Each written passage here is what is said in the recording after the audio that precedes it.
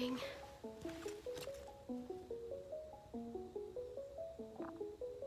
I am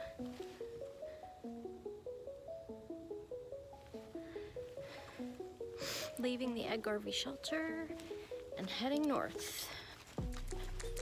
The Dahlgren campground, backpackers campground, is 11 miles away. And depending on how I feel when I get there, I may go further. I have like 34 and a half miles to the Mason-Dixon line. And uh, yeah, if the trail is good, go pretty far. And there's a lot of cool stops along the way.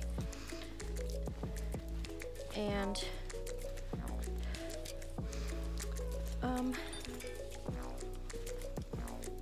yeah, we'll see how the day plays out. The privy at Ed Garvey shelter is not that great. There's an old privy there, which looks super cool. It's more like a, looks like a log cabin.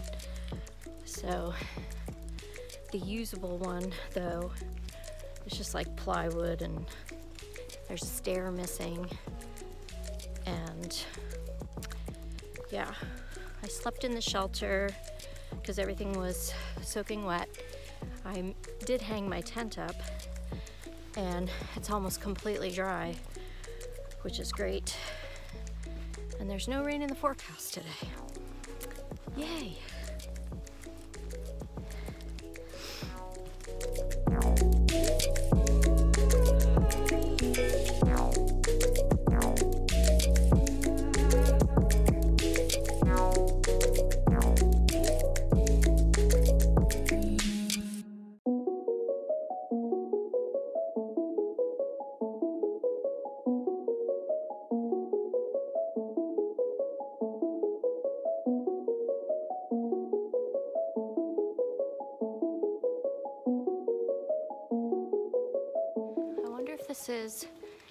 An old wagon route because it's wide enough for something like that. Right up there is Gath's empty tomb, I think.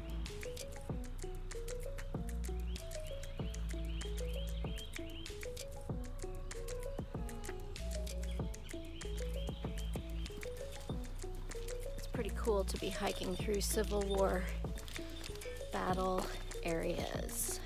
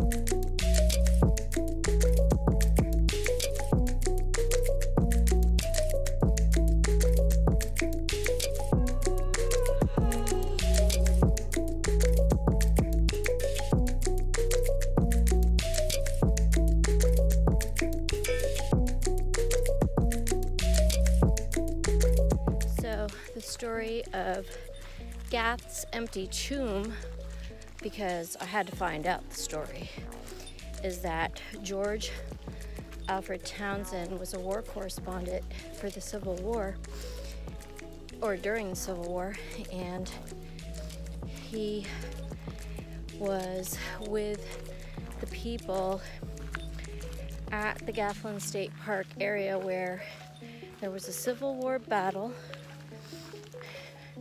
It was the push to Antietam, and he came back afterwards, bought the property, built all the buildings, had the arch built to commemorate war correspondence of the Civil War, which is really cool. And built the tomb for himself, for himself, his wife, and his family, or his parents, to be buried there when he died. And lived there for a long time. But then his wife, Bess, died and in Philadelphia and was buried there. And then he died in 1914 in Philadelphia and was buried with his wife. And so the tomb is completely empty. Nobody was buried there. Um, it's a really cool story if you ever want to look it up. I enjoyed reading it. Is this Rocksylvania? No, it's Maryland.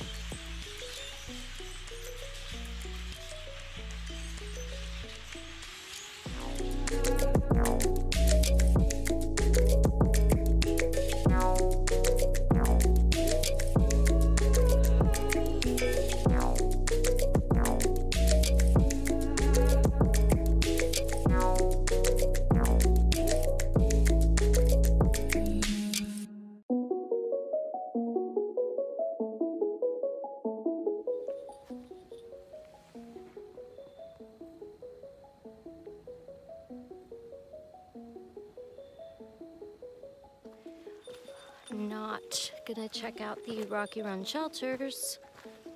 Apparently, there's two of them. Or maybe, I don't know. But people I met last night said there was a guy at that shelter who was really weird. So, and they didn't know if he was a real hiker or not. And I'm like, yeah, okay. Let me just keep going.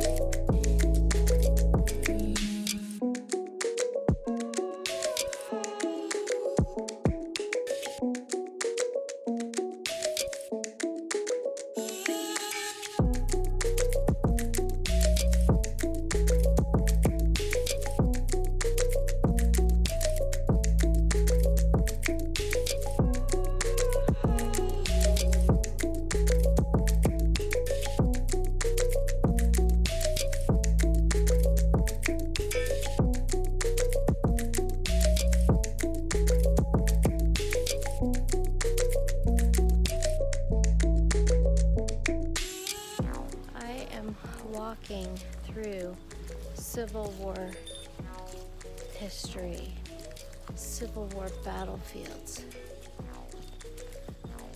hollowed ground. It's very cool.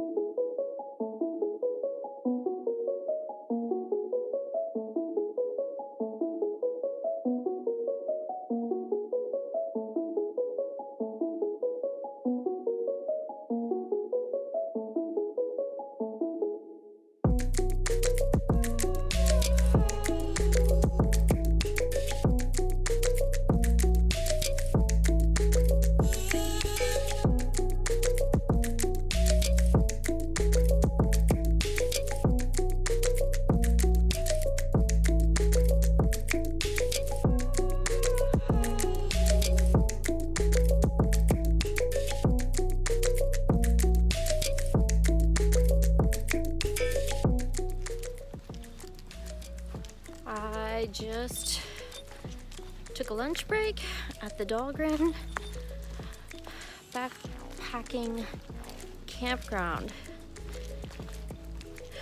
And it's just, it's like 2.30ish and I've hiked 11 miles and I really want to see the Washington Monument today because it's a beautiful day now and I think supposed to rain tomorrow.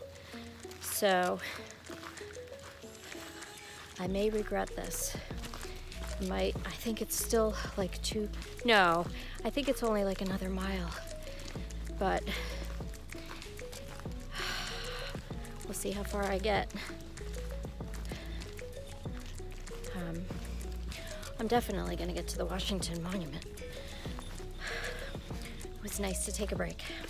Oh, and I met three through hikers today so far, and I also met a couple of guys who are northbound doing a section hike from Harper's Ferry to Duncannon. So maybe I'll run into them again too.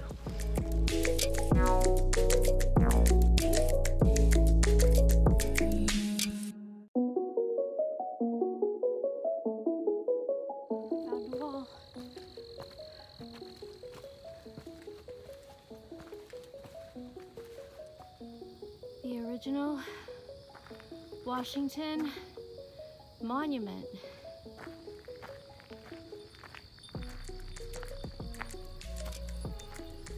That's very neat. Built in 1827 repaired and altered many times over a hundred years by patriotic citizens. It's, this is its final restored original design, and it was used by the Union Army during the Civil War as a signal station. Very cool.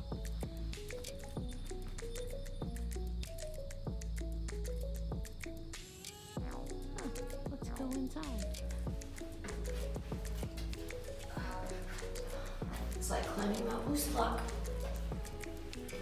Our kinsman.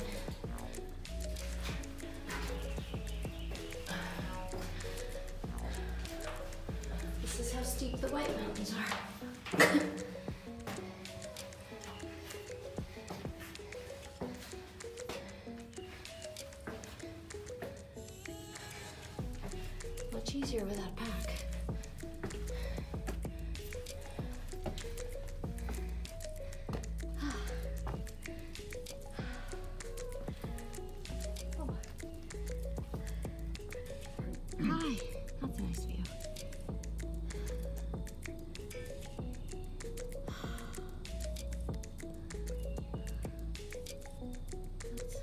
toward Pennsylvania. I think I might make it to the Pine Knob Shelter. It's gonna be my longest hiking day on the trail so far. Um, and I'm like looking at the mileage. I have a spreadsheet for all the states, and but it's confusing because North Carolina and Tennessee hop back and forth and it's hard to know which miles are in which state. And it turns out West Virginia has 28 trail miles, not just Harper's Ferry. So, again, where does Virginia end and West Virginia begin? I think it travels along the border of the two states for a minute, but I don't know where which is killing my nerdy brain because I want to know how to fix my spreadsheet. And I guess the only way to fix my spreadsheet is to eliminate all the states and just focus on putting the trail miles in order on the spreadsheet. It's a ridiculous dilemma to have. But it's also keeping my mind occupied while I trudge down the trail for, I have like two more miles or just over two more miles to hike to get to the Pine Knob shelter. So that's a plus, I guess. Things I think about when I'm hiking. I'm not bored.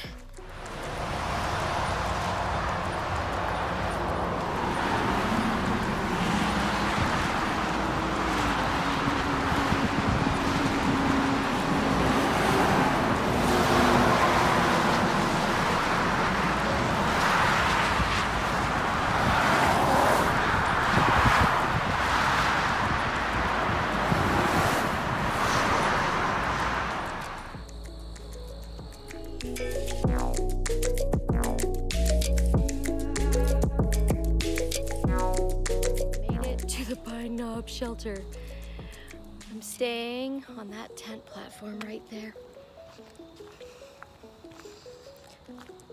This has been my longest hiking day on the Appalachian Trail, mileage wise. It's a very tiny shelter. That's nice. They have bear pole. I guess that's where I'll put my food since they have it. I'm so tired that I'll show you all the privy in the morning. I have to figure out how many miles I walked. I hiked 17.3 miles today.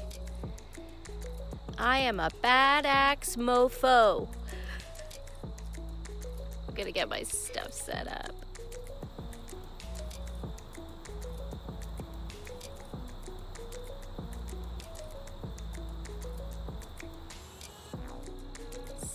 for the night.